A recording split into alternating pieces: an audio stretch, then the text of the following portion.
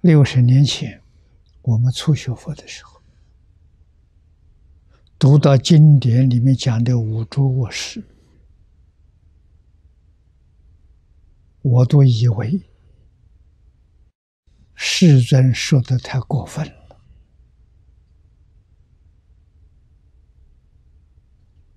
啊！哪有这么严重？可是今天社会。让我们看到的、听到的、接触到的，感觉到佛在经上说的一点都不过分，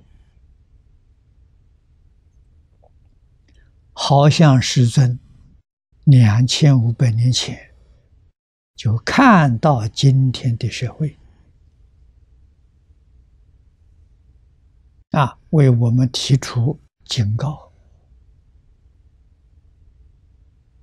我们要怎样啊？以什么样的心态来应对当前的社会？啊，那就是生明因果，明因果还不算，要深深明了因果啊。啊，怎样才明白呢？我们学习因果启蒙的教科书是《太上感应篇》，啊，道教的。那《大乘经》上的呢？哎，这一篇这一部经。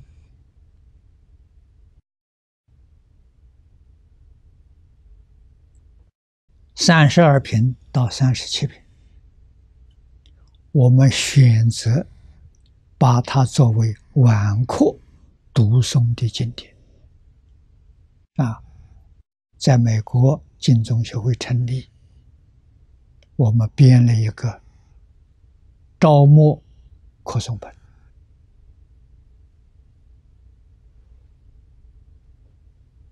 啊，招募课诵啊。都有读诵经文，一段经文。早课我们选的《无量寿经》第六品，就是四十八愿。啊，希望我们能跟阿弥陀佛发同样的愿。阿弥陀佛就是我的愿，我的愿就是阿弥陀佛的愿。啊，晚课是反省、忏悔、改过。标准呢，就是这部经三十二品到三十七品。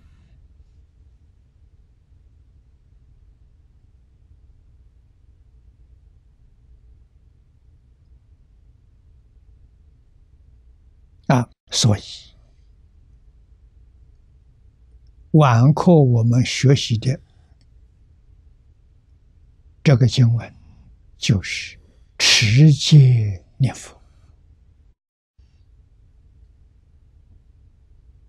啊。那么在日常生活当中，我们如果有感应篇这种因果教育的基础。啊，读到《无量寿经》，才是真正是此地所说的生命因果，知我心善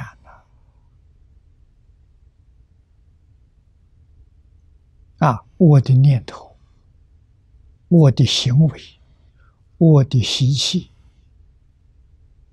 不能不知。啊，善。不能不行，不能止我修善。经念的再多，佛号即使迟到，像偶一大师所说的“余达不实”，风吹不入，达到这种程度，也不能往生。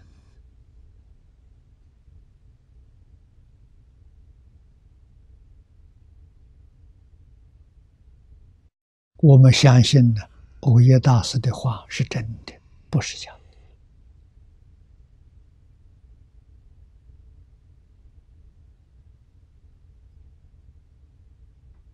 的。啊，这个大，这位大师，通宗通教，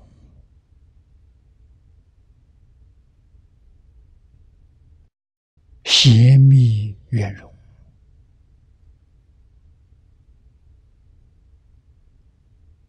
万年归心净土啊！所叠《弥陀经》要解，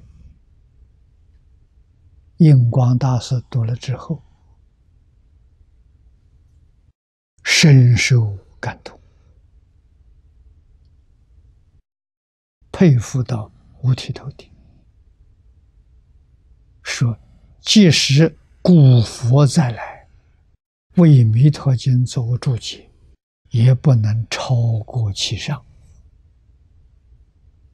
这个赞叹不容易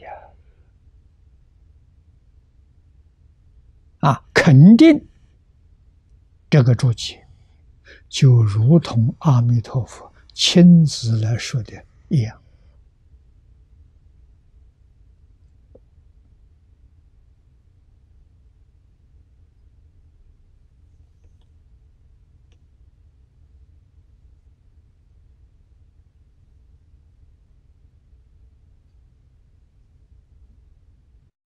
所以我在早年没有遇到这个《无量寿经》汇集本之前，我学习的中心就是《弥陀要解》啊，讲过几遍，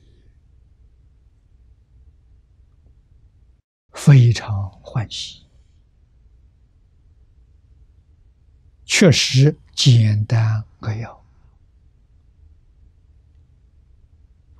最精彩的部分，大师全部给我们念出来了。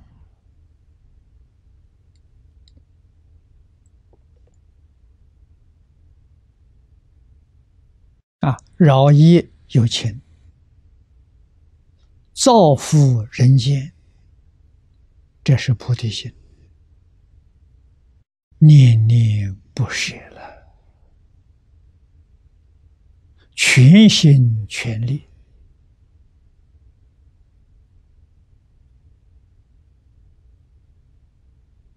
为沉船尽奏，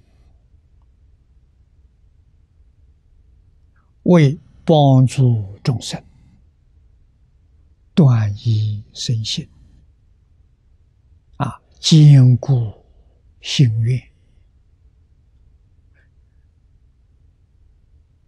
一心专念求生净土啊，这就是此地讲的以此回向同生极乐